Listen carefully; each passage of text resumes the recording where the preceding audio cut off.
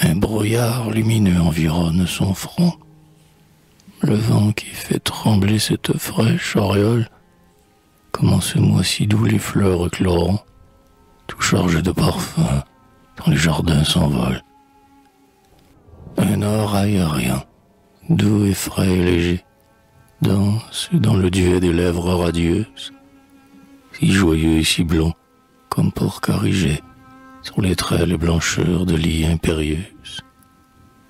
Et, dans le parc touffu, les hautains églantiers, les pervenches et les vieux arbres, tout s'incline, comme pour la fêter, lorsque par les sentiers, vous précédez ses pas, frissons de mousseline. Dans ce rêve de gaz, on dirait la pairie, que porte en se jouant le souffle de la brise. Pour elle, les oiseaux ont un chant favori.